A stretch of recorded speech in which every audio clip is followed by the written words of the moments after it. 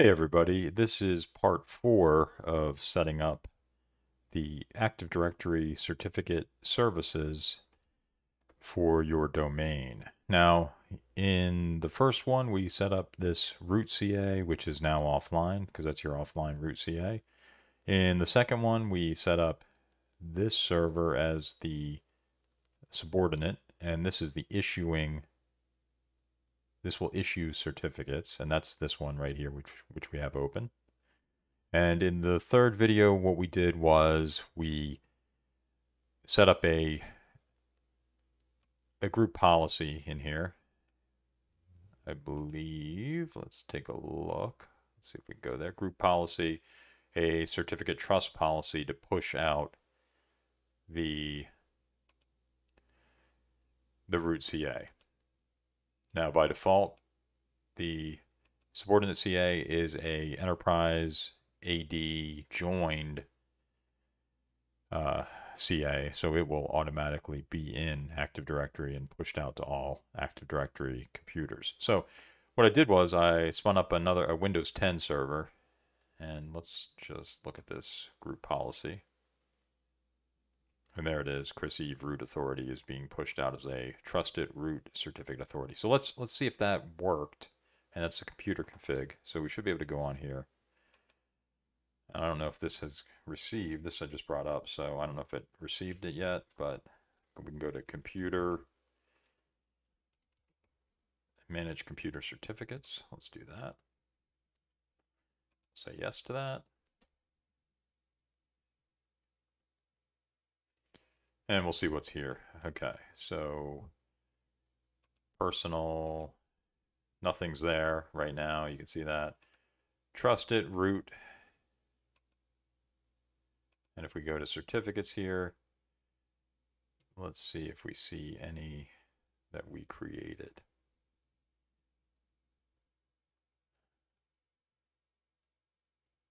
So I don't see them right now. So it looks like we have not yet. Hasn't yet updated. So we can do a GP update. Just run a GP update and see if we can get those in there. This should be under Trusted Root Cert Certification Authorities, and that's this one. So that's that is right. Uh, let's check. Pretty sure I don't see anything here.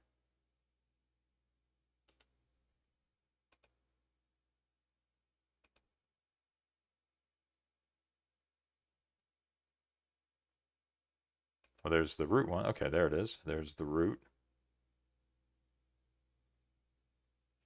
And I think if we go to intermediates, we should see this here. There it is. Chris Eve issuing CA. All right, so that was already there. That did not need to get updated. But the trusted root had to be updated by the group policy. Okay, so now, now after we've done all of that, now what we want to do is go configure some certificate templates. So let's go down, let's go back to the CA. This is our issuing CA.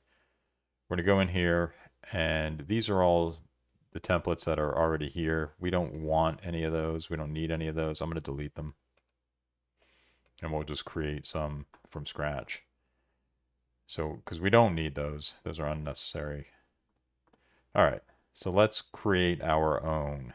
So what we want to do is we need to go to the uh, certificate templates, right? So let's do that now.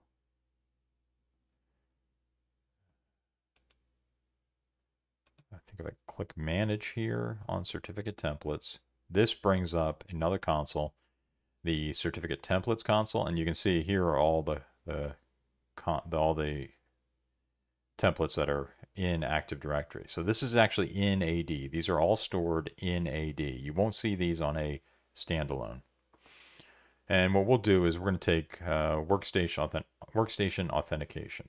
So we're going to do that one. And so we'll click that, duplicate, duplicate template. And let's see, what do we want to change in here? So probably the name. We don't like that. Yeah, that's not great. Uh, so let's do this. All of ours will be Chris Eve. And then template name, workstation authentication. Let's put a dash in there.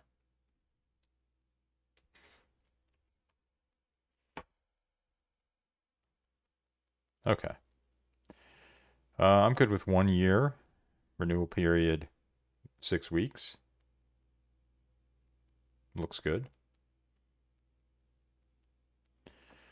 Let's go to the security tab. And for the security tab, what we're going to do is for domain computers, we're going to auto enroll, allow auto enroll. This will allow us to automatically get a certificate for a computer in the domain. Okay. So now that should be, that's in our list. There it is, Chris Eve Workstation Authentication. And you can see the version has changed, schema version, same. Okay, good.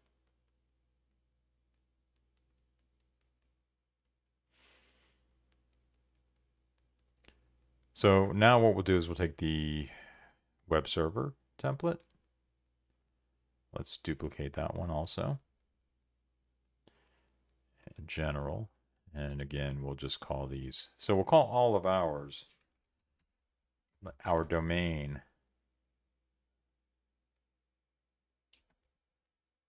followed by the act the name of the web server. So validity for our web server will be one year.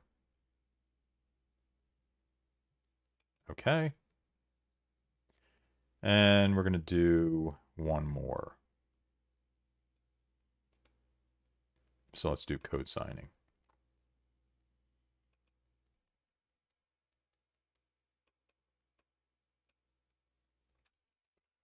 Chris Eve, code signing, and then we'll change this. Just put a dash in there.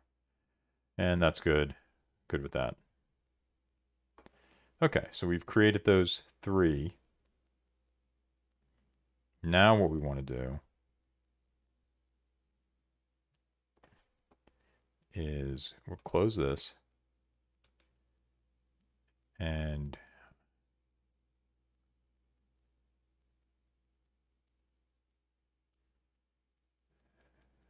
so let's see, where do we do this?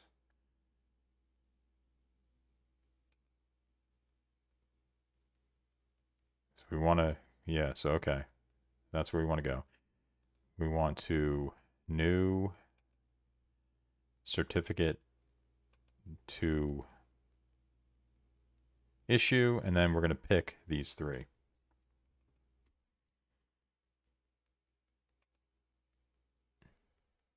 And there we go. So now they're listed in our certificate templates.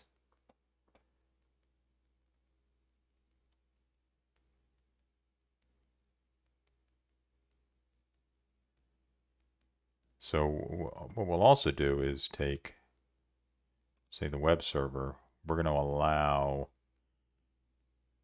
let's see if, do we have a server that we can use?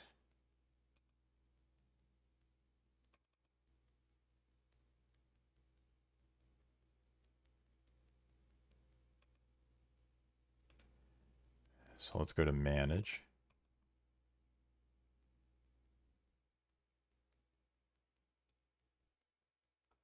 They should all be up here. So go back in here.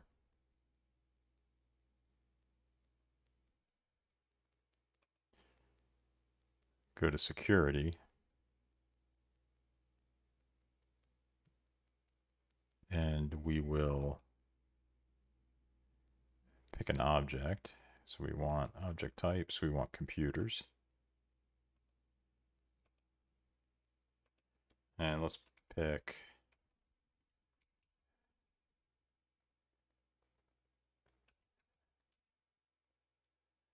CA sub and we'll allow that to enroll in the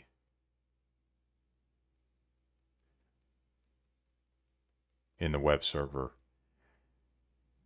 the web server uh, template. Okay, so that's going to have permission right there to enroll. Perfect.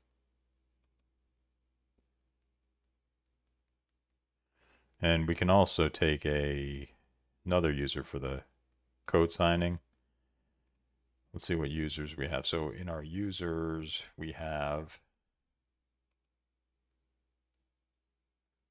we have some test users. We can use a test user. So security. And you'd probably do this by group if you were going to really do this. Create a group in Active Directory and then add that user to the group and then give the permission on, on that. But here we're just going to do this. We're just going to set up the user and give them enroll permission.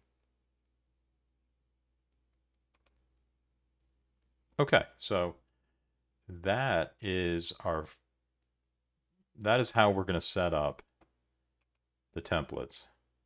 So in the next video, we'll start using those templates and I'll, I'll show you how to do that.